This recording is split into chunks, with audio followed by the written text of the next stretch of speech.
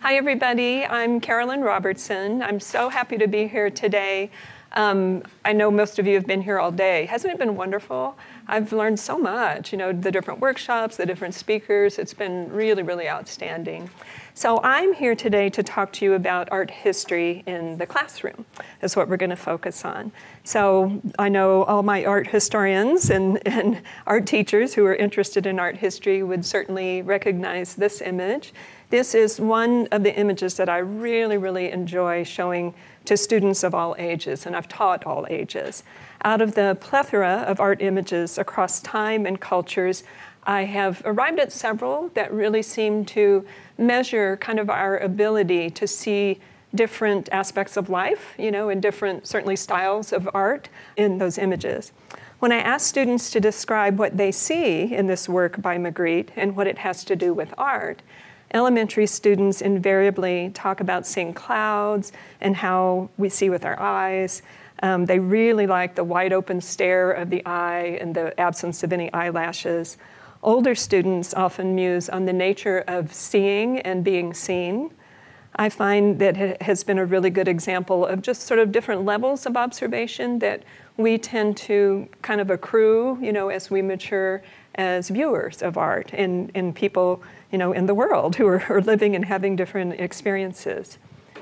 So many of you may recognize this quote by Picasso, featured in the California Art Standards for Visual Arts in the brand new adoptions as of January of this year after a very considerable drought in art support and funding.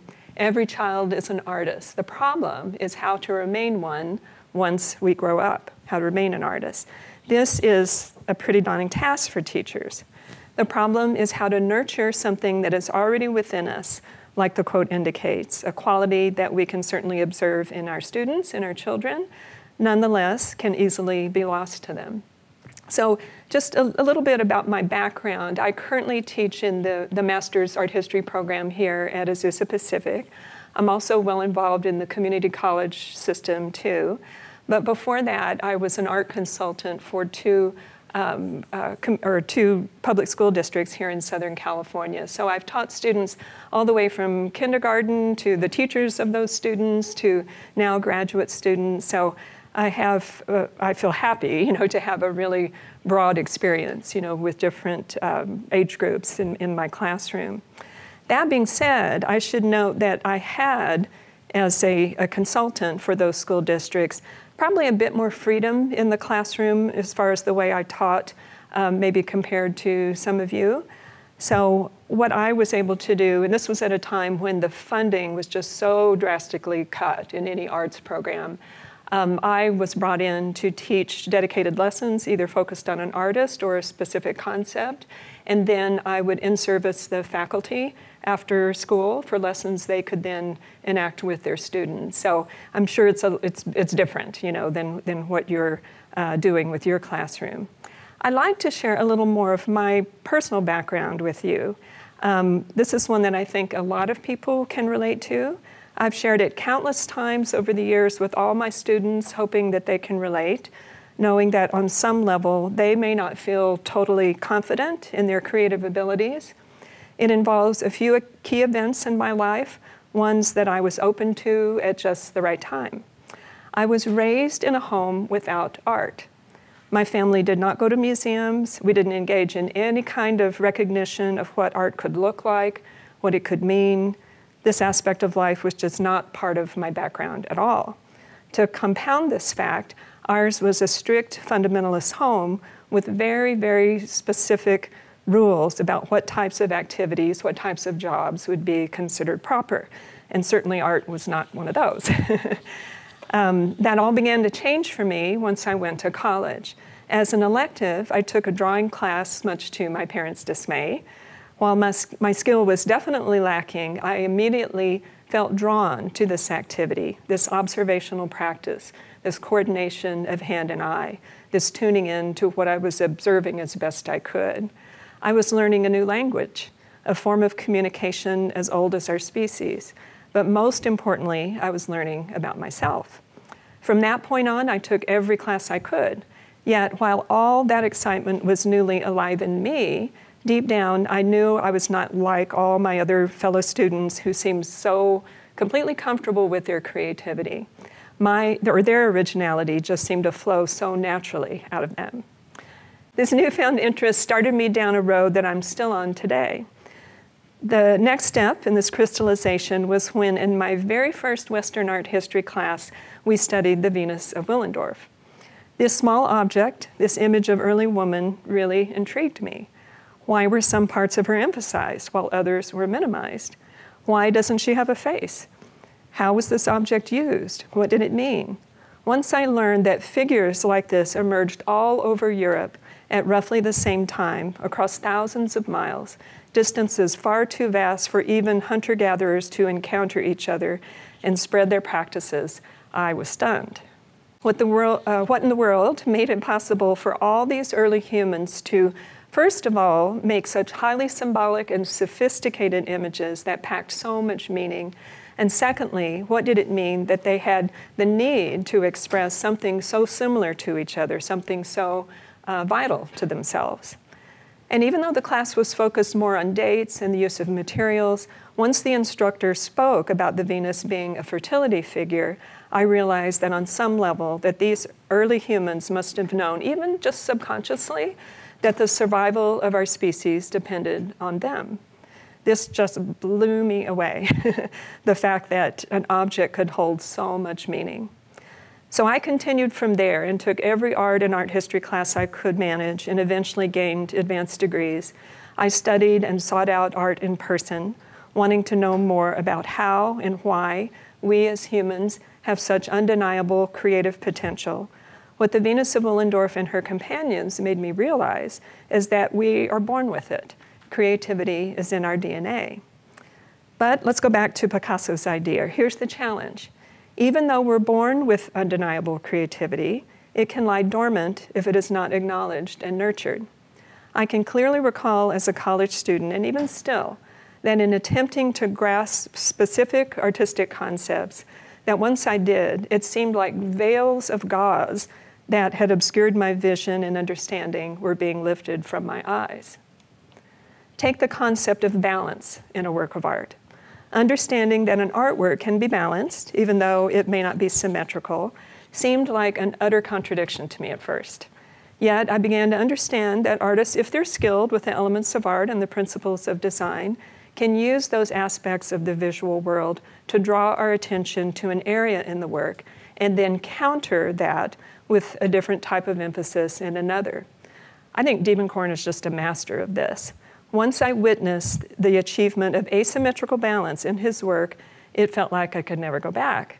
The artist in his work engages us with beautiful colors of land, sea, and sky, drawing our attention to sort of the structured elements up in the upper right, but then counterbalances those elements with um, the very sort of atmospheric brushwork that he uses in the uh, lower left. Being able to recognize that every color has a value a tint or a shade, a degree of light and dark, and that artists use value differences as a way of providing contrast makes a work of art increasingly more eye catching. This was a concept first presented to me in words. I memorized definitions, but I could not see it. I had no breakthrough visual reference that made it clear to my uncultured eyes, even though the instructor provided examples. Then one day it clicked, the veil was lifted. I experienced what value contrast meant visually.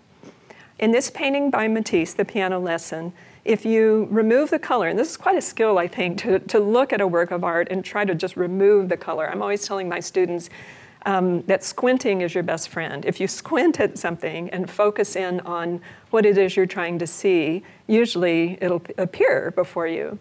Um, the easy way would be to take a painting to a black and white copier, right, and, and make a copy. But um, in this example, you can see that the way that Matisse used value contrast, the, the meetings of the light and dark areas, provide structure for the painting, um, but also just make the whole work so incredibly eye catching. The visual world was not something I had much experience in exploring, so it took some time for all those veils to be lifted.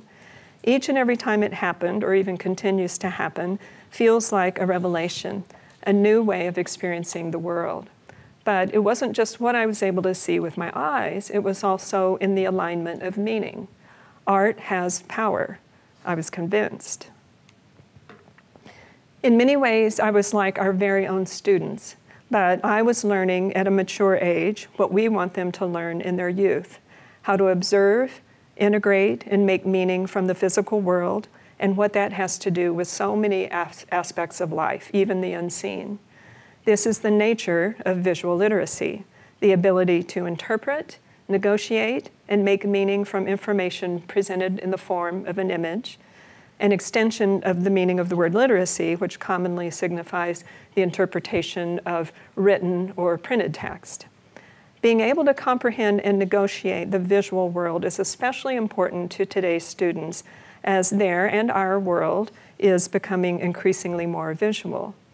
This is both exciting and a bit concerning. Concerning since I have noticed that among young students, their writing ability has declined somewhat. I don't know if you guys have noticed that too. Um, except I would say with my APU students who are outstanding writers. that is why I believe we must go deeper in our exploration of the visual as it reaches depths within us and not merely focus on the surface of things. Visual literacy involves becoming more mentally and morally engaged to move in order to move between words, images, and ideas. I assume I don't have to sell you on the merits of an arts education, even if you may struggle with your own comfort level about how to integrate these values into your classroom. Many of you would agree that art education is a fundamental component of the total education of every child. Art is central to human experience. For art historians, the central philosophical premise lies in the study of art as a subject and the construction of interpretations of meanings of works.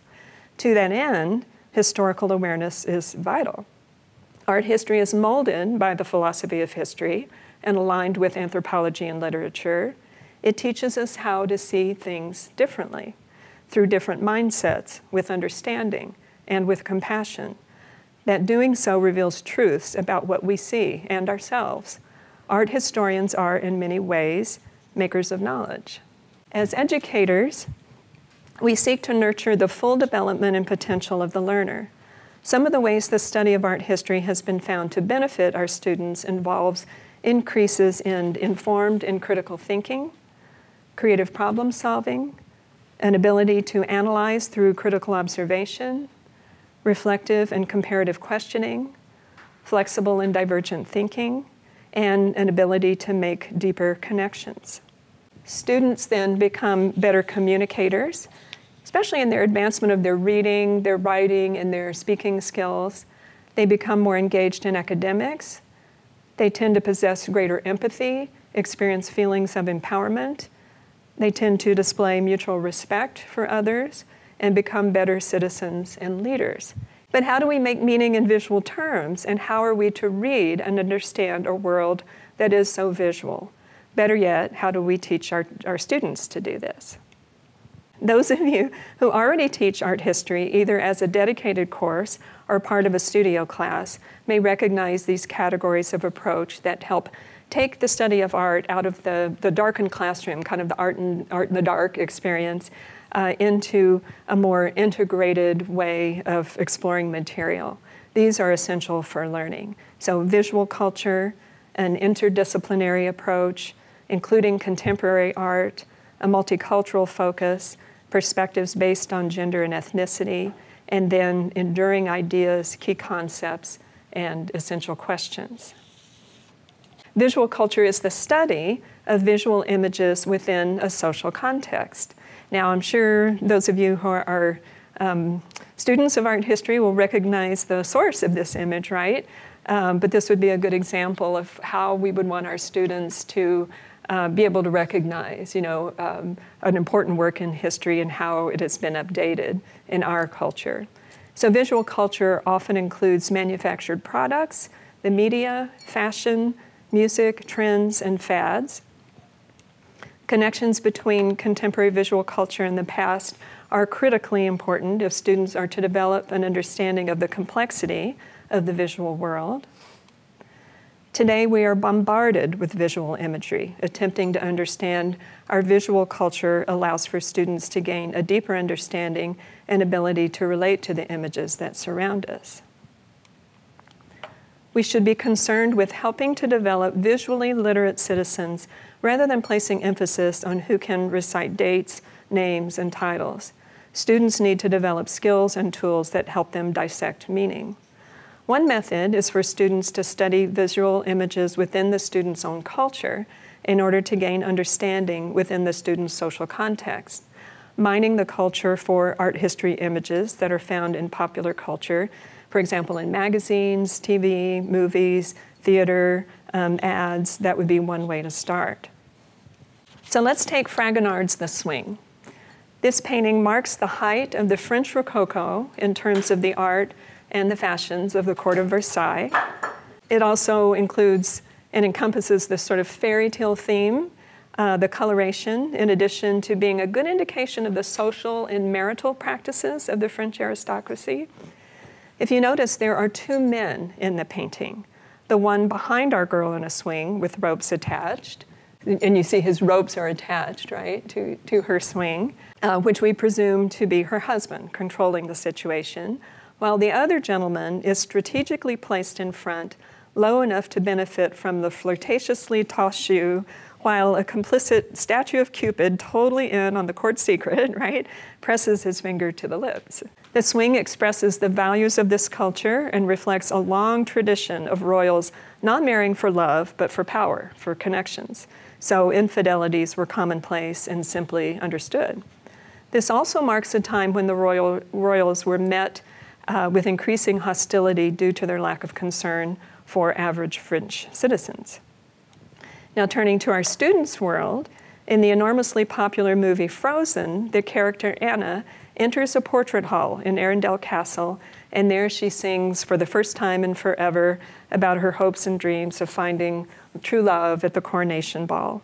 She hops on couches and imagines herself in a number of different paintings in the collection a student of visual culture would quickly recognize this uh, artistic reference, even though the extramarital connotations are absent, right? in this more serious reinterpretation exhibited at the Tate in London in 2001, the artist Yinka Shonibare depicts the female figure wearing signature African fabric instead of pink lace, making reference to the involvement of France in the slave trade. This time, the figure is headless, which implies the bloody history of the French Revolution, the invention of the guillotine also. In addition, he shows the lady without the two men, which make us the onlookers, the voyeurs. His work explores cultural identity, colonialism, and post colonialism within the contemporary context of globalization and our part in that. In an interdisciplinary approach, students learn by social, constructive, investigative, and expressive methods. Art history quite naturally lends itself to addressing literature and history. Art instruction within a history class may allow students to arrive at multiple interpretations of historical events. Also, understanding art in relationship to the economic and social conditions in which it was created helps us understand what influenced the artist. Some of the elements that are essential for interdisciplinary learning through the arts include learning experiences that promote meaningful connections between the disciplines, in depth study of the context of the disciplines. This would involve using accurate and carefully selected examples and terminology, and involvement of students in processes that are authentic to the arts. This could include creating, uh, performing, and certainly responding to the work. An integrated curriculum allows for deeper thinking as the approach is characterized by, and I think really thrives in an atmosphere of complexity, ambiguity, contradiction, paradox, and the exploration of multiple perspectives. In life, our social and personal problems do not respect the boundaries of school subjects, so it is important to consider what the work of art meant to people of the time versus people who are viewing it today. So let's take an admired style and artist as an example Impressionism and the work of Monet. Many admire Monet's work as it so personally and expressively captures the beauty of nature. Impressionists were the first artists to paint the outdoors in the outdoors, and they were the first to maintain the desire to make works that were of their own time, subject matter of their own time, documenting their own time, and not merely the referencing to religious or historical themes. Since theirs was a world of rapidly changing advances in science and technology, they sought to capture the fleeting moment in their works. In this way, Impressionism was truly modern. In 1666, Sir Isaac Newton began contributing to the field of optics by observing that color is a property of light by measuring it through a prism and producing the refraction of light. So what we're seeing here on the left-hand side is the electromagnetic spectrum. So we, these are all the rays that are moving through the atmosphere. So we have invisible rays, you know, from the top, gamma rays, X-rays, microwaves, radio waves. That section toward the middle in color is the visible light spectrum, so that range of rays that's visible to us. So then Sir Isaac Newton uh, took a ray of light, and through a prism was able to see this a range of color and talked about um, the, the, phenomenon of color being a manifestation of light. So that was certainly uh, something that was established, you know, by the Impressionist time. In the latter 19th century, however, the chemist Michel uh, Eugene Chevreul, working largely um, in the textile industry as it applied to fashion, published the law of simultaneous color contrast in one of the first systemic studies of color perception, along with principles of color relationships that were widely adopted by 19th century French painters. So, in this way, the Impressionists were trying to be as up to date, as modern as possible in the way that they were regarding color as being a scientific area of exploration. So, Chevreul's law of simultaneous contrast states that two colors placed next to each other when seen by the eye will appear as dissimilar as possible. Chevreul also developed optical mixing, the idea that colors actually mix in the eye. And even though an artist may not mix a color, say brown, you know, uh, on the palette and apply it to a canvas, as long as you have, and I'm sure you've seen this in Impressionist works, red dots next to uh, green dots. And as you move away, it looks brown. And that's because of optical mixing, that the phenomenon is actually happening in the eye. So this is why then we think that the Impressionists painted so rapidly, is they were trying to be as scientific as possible. So the idea that if light falls on an object, revealing a point of color, they need to quickly capture that moment because the moment is fleeting. The moment will be gone in an instant. The minute that you know the colors change, it should be a different painting. So in many ways, they were being as scientific as possible, but they were really racing the clock. They had a, a concept of time that I think was very new for them too. So um, yeah, so we look at his many varieties of the same subject matter. So Monet, I'm sure all of you know, would sit in front of uh, the Rouen Castle, would sit in front of haystacks, had so many uh, very specific subject matter that he would rely on, all in this effort to just capture the colors, to capture the light. Contemporary art has its admirers and detractors. Many teachers are uncomfortable with contemporary art and tend to avoid it. Some are just unfamiliar with it. It's not the way that they were taught, or they're just not sure, you know, how to include it. But contemporary art is full of questions and challenges. When teaching current works, we don't typically have the benefit of a well established historical perspective uh, on their place in history. I think uh, our speaker this morning was mentioning that. You know, even for contemporary art and books, it, it's art that's 40 years old, you know. Yet the value of contemporary art instruction is that it introduces students to artists that are working within their own time, which allows the students to examine issues that they them, themselves might be dealing with. There are many places where contemporary art connects to traditional linear art history, allowing for new ideas to be formed and to help make them uh, help make meaning for both. We can use older art to teach contemporary art and vice versa. By intermixing through the entire course students gain a deeper understanding of the issues artists are currently dealing with and how those issues and works relate to history and the world of ideas. In this work from the early 17th century, the artist de Heem provides a lavish display of food and other items of luxury and learning. Students typically recognize this as a still life, and they would be right. The artist of this genre began the practice of what's known as vanitas. This is a type of still life painting that flourished in the Netherlands from 1620 to 1650 that conveyed a religious message and was characterized by objects of mortality and the meaninglessness of worldly pleasures. Initially, Vanitas paintings were still lifes that were painted on the backside of portraits, but then they sort of came into their own, you know, as a dedicated uh, genre and a dedicated art form.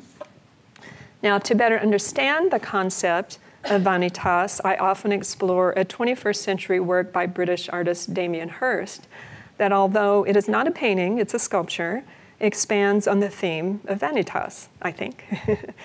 this life size replica of an 18th century human skull is covered with more than 8,000 diamonds and bears real human teeth. Students are immediately drawn to this image, one that speaks in a myriad of ways to different cultures. Students begin to see connections with the painted version in a fascinating exploration of the use of media, symbolism, the idea that objects can, themselves can hold so much meaning. The discussion takes on personal meaning as students relate this image to Day of the Dead traditions practiced by many. Multicultural education then involves seeking understanding. To seek understanding or cultural understanding is to, is to gain self understanding and to appreciate and respect one another. A multicultural focus provides opportunities to expose students to how other cultures have evolved and responded to ideas and issues. This approach is particularly important for us because North America is a product of many different ethnic groups. Instruction can focus on a universal approach that emphasizes commonalities between groups of people, or it can involve an approach which places objects within a social context. Regarding globalization, the idea is that we all belong to one global economy and society, and no one remains independent of being influenced by other cultures. Integrating uh, art from Western cultures within the typical art history curriculum can broaden students' ideas about the producers of artwork and contributions this art made to the group's culture. It is important to emphasize that all cultures had made valuable contributions to art. In exploring the principle of scale and the expression of power that a work of such colossal size can yield, I often present this image to my students. This likeness of the Buddha along with two others that accompanied this figure, were formed into niches along the Bamiyan Valley mountain range in Afghanistan. They were built along the Silk Road, estimated at having been made in the 5th century CE. They looked out over the Bamiyan Valley and represent a shift in Buddhist belief. Theravada Buddhism, the earliest form, held that its followers must lead a monastic life and was meant for only the most devout followers. These statues of the Buddha, Siddhartha Gautama, represent Mahayana Buddhism, or a new form that allowed for Buddhism for all. It is interesting to explore the symbolism of the way these works were presented, overlooking this expansive valley, looking out over to the south, almost as if they were there to announce this new concept of Buddhism. Now, you may have noticed that I used the past tense in referring to these works. That is because they no longer exist, right? On March 11, 2001, six months exactly before 9 11, these colossal statues were testaments that were testaments to a shared belief and way of life were blown up by the Taliban. After we learned this in class, so many interesting examinations with students ensue. We talk about the power and threat of belief, the destruction of cultural heritage, it really is one of the most provocative lessons, you know, that I feel like I teach. This lesson takes yet another turn when I show some of the reactions to such a loss. This proposal by artist Hiro Yamagata included a laser installation powered by windmills and solar panels in an effort to reinsert images of the Buddha back into the mountainside uh, through much more modern technology, what, in what some might even call indestructible means by light. It was never fully realized. They're actually still working on it. Um, UNESCO is getting involved in this project. Um, but it's certainly an idea that speaks to the power of thought, the power of belief, of customs and history, the undeniable power of expression. The inclusion of artists who reflect a range of ethnic, gender, and socioeconomic backgrounds is vital. The art world includes the same diversity that we see in our society, yet this diversity is not fully explored in art history. Most art history books have just a, a preponderance of white males um, who were you know, deemed to be the famous ones. So it's important that we as teachers uh, explore that further, ask students why, we, why they think that is, and certainly you know, go into uh, other genders and other ethnicities. There are many lenses through which we can examine art. Feminist criticism is an approach concerned with the oppression of groups, especially women, in society, but still advocates for equal social, political, and economic rights for all women and men. Issues of race, gender, ethnicity, and visual culture are all inextricably linked. It is important to understand the context of a work of art. In Shirin Neshat's series, Women of Allah, the artist is concerned with Islamic women and femininity in a region where women's rights are limited and controlled by religious law. The beautifully scripted, almost seductive nature of the elegant writing is from the Quran in passages which describe the expectations of women's behavior, their dress in particular. I recently explored this image in a class with Muslim students who had a very powerful reaction to the work, not only the wording, which they translated, but in the image of the barrel of a gun presented as an earring, a threat to any kind of ornamentation of the body as well as the vacant and saddened expression of the woman's face. Of course, they were able to see so much more in this work as they live within that context. Kara Walker is a fascinating contemporary artist who explores racism through the medium of black cut paper silhouettes of caricatures of antebellum figures arranged on a white wall in uncanny, provocative, and I think kind of disturbing scenarios. Her revival of 18th century cut paper silhouettes displayed in a cyclorama or a round room, even that is referring to an old uh, 18th century practice, um, critique historical narratives of slavery and the ongoing perpetuation of ethnic stereotypes. This one, commonly referred to as Gone, refers to Margaret Mitchell's 1936 novel Gone with the Wind, set during the American Civil War. While Walker's narratives begin and end with coupled figures, sort of a, like a plantation kind of romance idea. Uh, it lands heavily with imagery which refutes the promise of romance over that of power and oppression. Walker states the history of America is built on inequality, this foundation of racial inequality and social inequality. It is interesting to note that when her works were first widely shown in the mid 90s, she was highly criticized by her own black community. Many thought her imagery perpetuated stereotypes that we were well past and that her work was regressive and took people backward.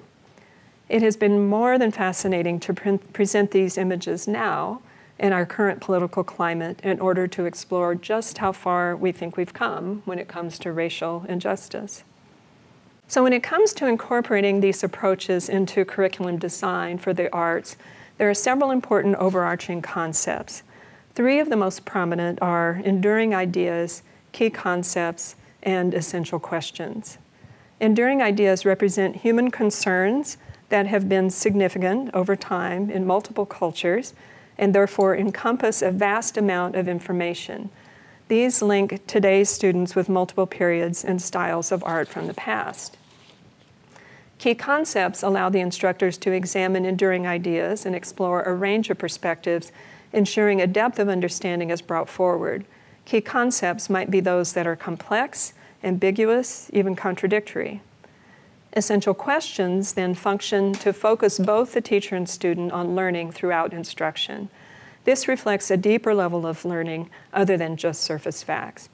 Enduring ideas, as they are, they tend to be more symbolic, will remain with students far longer than certainly the memorization of dates and titles. And asking essential questions can inspire divergent over convergent thinking. Now, so far, I have geared my information around middle school to high school students. It's important that no matter the grade level, that we hold on to um, the, the uh, key concepts that we want our students to, to grasp. So what I'd like to do is give you an example of how I might present probably the world's most famous painting to different age groups. I believe that art has a language and is a language.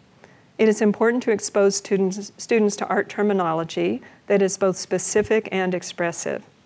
They will find that the use of terminology in the arts will help them arrive at a more specific and precise meaning. So, with very young students, when looking at Starry Night, we first talk about what they notice. Inevitably, it's the swirling sky.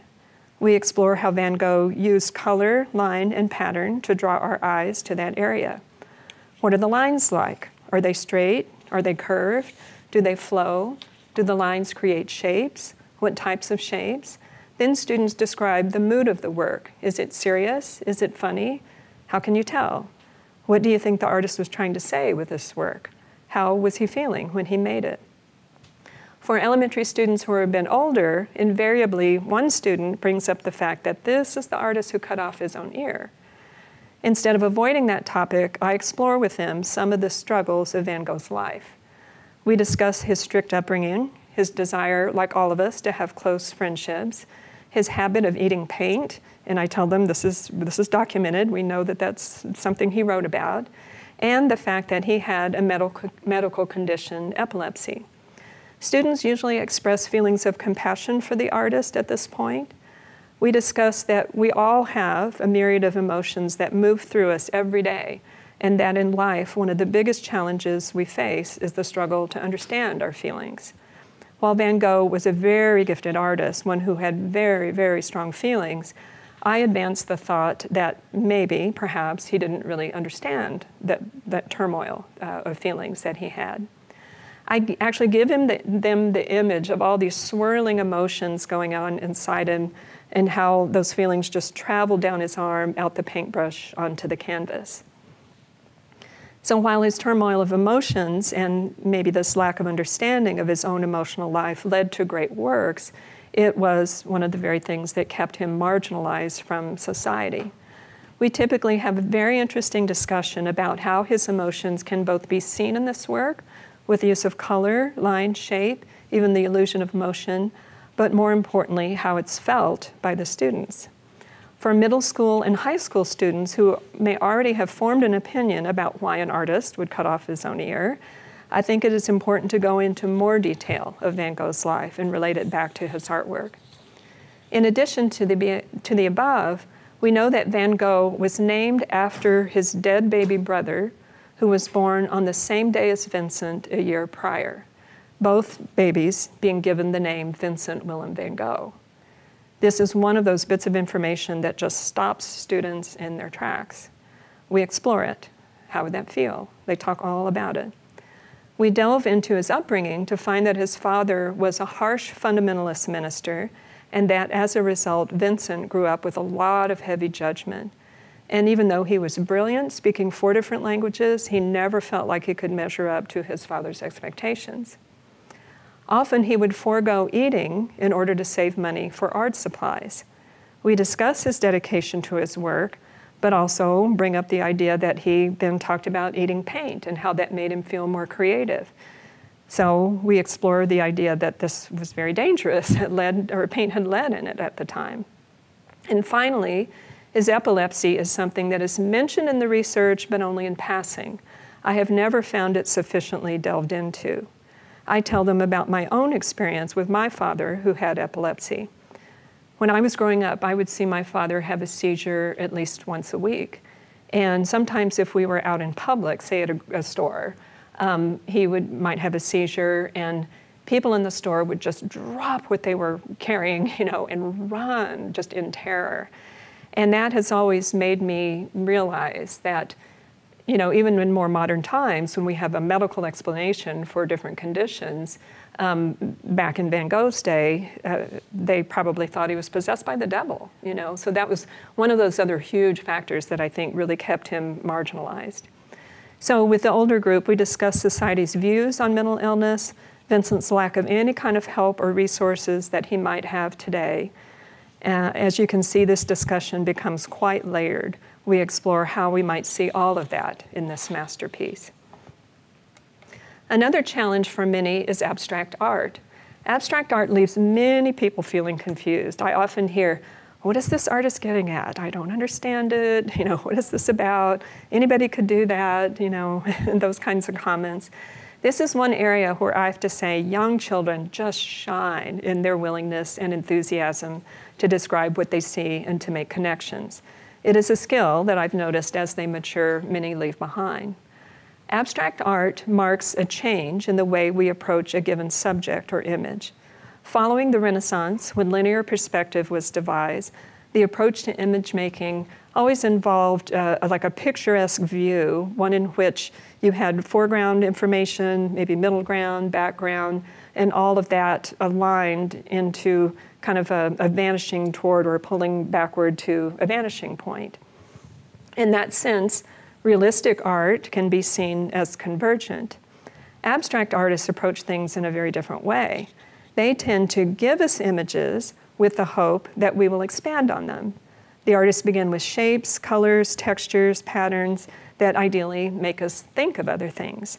The idea is to make associations that are expansive and therefore divergent. This painting by Paul Klee is one uh, that can make its point you know, quite on its own. It, it never really fails. I have shown this image to dozens of groups, ranging from kindergarten students to teachers of those students.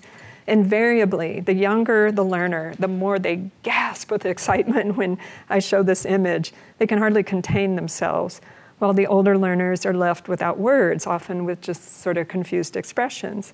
They can't make out what they're looking at and cannot fathom what it might mean. Take, for example, the small yellow circle at the bottom left, this one right here. Young students eagerly describe this as a flower, a cut melon, maybe a cucumber, a piece of sushi. Um, the white column-like shapes um, are often described as vases holding uh, spirograph flowers, clear drinking glasses after someone just finished their morning milk, uh, or the projection of searchlights at an evening car dealership sale, maybe. Some describe the yellow shapes at the top center as the sun and the moon, while others see a hamburger. The point is, the possibilities are almost endless. Each work of art is subject to many interpretations. We live in a time when that is not only possible, it is one of the foundational philosophical precepts of the world we live in, and a value that most artists welcome. I tend to teach art history with this value in mind, both in my selection and presentation of works, but most importantly in the way students are encouraged to speak about their reactions to art. We are at a point where artists invite us to add meaning. So it's no longer the case where artists are putting all of the concrete meaning, you know, all the predetermined meaning in a work of art.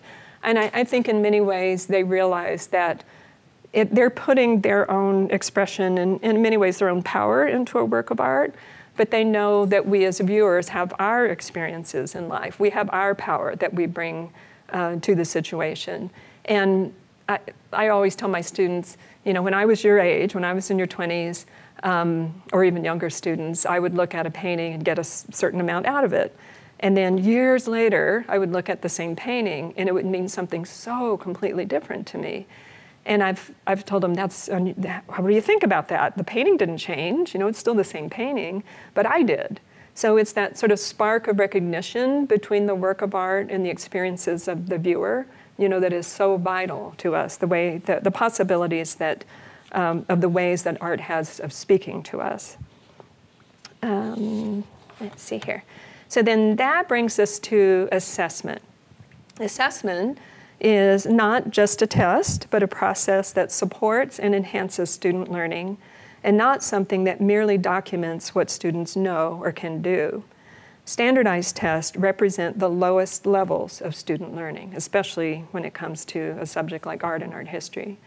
Instead of rote memory, assessments of deeper thinking and those that are more challenging to students in order to make connections are vital. The goal is for students to be able to think about and explain ideas found throughout the history of art and say how those ideas relate to them today. They should be able to identify themes within art that they feel are important and to be able to state and support their beliefs. They should be able to identify works of art well enough so that they can group them with a similar time period or style and be able to describe some basic characteristics of the work. It would be way more important that they be able to recognize a Greek or Roman work of art over a Renaissance or Impressionist work. Even more important is that they could say why. Decoding artwork can leave students and teachers feeling overwhelmed or what may, in what may appear to be a very exclusive body of knowledge. In that regard, the development of critical thinking skills, thorough research, and being able to justify their interpretations and the development of open ended discussions uh, is important. We should promote a contemplative, open ended dialogue. So, then, my goal as a teacher of meaning through images would be for students to recognize how and why the French revolutionary artist Jacques Louis David made this 1801 portrait of Napoleon crossing the Alps. We would explore it from a historical perspective as an expression of power and propaganda, and for its exemplary use of the elements of art and principles of design. I would be ecstatic if they made the connection to Kehinde Wiley's version by the same name with notable differences. What does this reference mean in light of Wiley's insertion of a new figure? And to bring the image to the present, the ever elusive street artist Banksy continually surprises us with his sometimes mysterious and typically socially relevant works that seem to appear out of nowhere. Last year, the artist surprised Paris Fashion Week with the appearance of seven new works. What does this recognizable, this recognizable image communicate to us now? So, as teachers of art and art history, we are responsible for engaging learners with art in its many forms, ideas, and purposes as a language that, like poetry, explores how, in, in contrast to merely what, something is through our interaction with images. My advice is to let the changes that you see in your students happen to you along with them. Art can change them, and if you haven't already experienced this, it can change you too. After all, who doesn't want to be thought of as an open person? I often tell my students that everything they've ever thought, felt, experienced in life, art has been made about that. But the most exciting thing to realize is that no one would make what they will make. And that includes not only works of art made by their own hands, but realizations made too. Okay that's all I have. Would you let me look at our time and just see if we have time for for some thoughts? We have a couple of minutes. Yeah. How many of you are art history teachers? So you are okay in the, in high school, right? Is it AP art history? Where are you? Okay, awesome. And everybody else is uh, either a student or um, an art teacher that's trying to incorporate more art history into their classroom. So, one of the, the greatest resources that I have found for contemporary art, and just realizing that you probably have a lot of resources, right, for um, older art, but is the PBS Art 21 series. Uh, is outstanding. It has wonderful interviews with contemporary artists who are very clear in their explanations, you know, of what they do. Um, art, art 21 and the artist tab has just, I, it seems like, I don't know, 100 maybe artists. It's a lot. Do you use it? Yeah, it's really outstanding. So it's really good. And then every major museum certainly has wonderful resources for teachers. The Getty here in LA, you know, has outstanding lesson plans and all kinds of um, helpful hints for teaching art and art history in the classroom those would be two of my recommendations. any, any questions or thoughts about, or any experiences you'd like to share about your teaching in the classroom? history undergrad, like 20 years ago. But so I like that, I, it sounds like you don't require the exact date. I don't. I like that. I think at least maybe if you get near the century, you know, that that's what's important. With my grad students, I expect more, you know, but I would say for community college students, um, no, I, I yeah. Um, or I certainly want them to know the difference between early Renaissance versus high Renaissance and late Renaissance, but not so picky as to require 1305 for Giotto. yeah, yeah. I feel like that kind of rigidity in art history is what, I mean, it is an academic field, but it also really turns people off from making the connections that they need to make. I'm more interested in the meaning of the work and how we can talk about that with students, how we can let it affect us. I think that part is really important. Mm-hmm. Well, I like how you um, talk about finding meaning. So this is for you. Who is your favorite artist period? Oh my gosh. so I have like 10 page list maybe of one of my favorite images in, of all time is Wanderer Above the Sea of Mist by Caspar David Friedrich. Um, and I wish I had it on me, but it is from, you know it, right? uh, so, yeah, he's overlooking the Wanderer Above a Sea of Mist, Caspar David Friedrich. So, it is um, a real example of the Romantic period. And I think that is such an important period because after the fall of the French, after the French Revolution, there's just this explosion of art movements that happen in Europe in that whole century. And it, Romanticism, instead of being, you know, very specific and bound by dates like Impressionism and Post-Impressionism, Romanticism is more of an overarching kind of quality that you see in the literature and the music of that time period too. And it, it involved this spirit of exploration that was just so vital to everything that was going on in Europe at the time. And, but they also delved into kind of dark mystery. Like this is when Poe was writing, you know, a lot of his great stories, and uh, Walt Whitman. You have versions of romanticism in America that were even more extreme than what were going on in Europe. So Thoreau was writing, you know, some of his great works. Walt Whitman, um, but there, yes, that's it right there. So. Well, not my all time. Well, one of my all time. Yeah. and it's what it represents. Yeah. yeah. What'd you say? I, I said, like, when I have a favorite painting, like, you know, a life calendar or the coffee mug, or wear it on a t-shirt. Wow, this is amazing. but I have many. I have, I have many. Um, gosh, I love Kehinde Wiley. So I showed you his uh, Napoleon Crossing the Alps. He has so many works that I think are so fascinating. You're imagining yourself looking out. I know, can't you?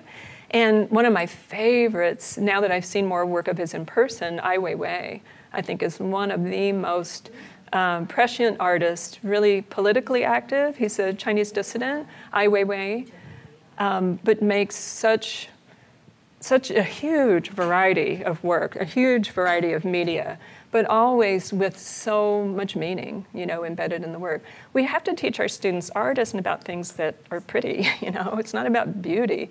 Art can be beautiful. I think that painting is beautiful. Yeah. Oh, for sure. But but even that had great meaning, you know, like what the Greeks were involved with in terms of um, exploring meaning in that way or beauty in that way. So but yeah, I have a zillion different ones. I should look at our time because she tells, yes, we have to end. So she asked me not to go over. So thank you guys very much.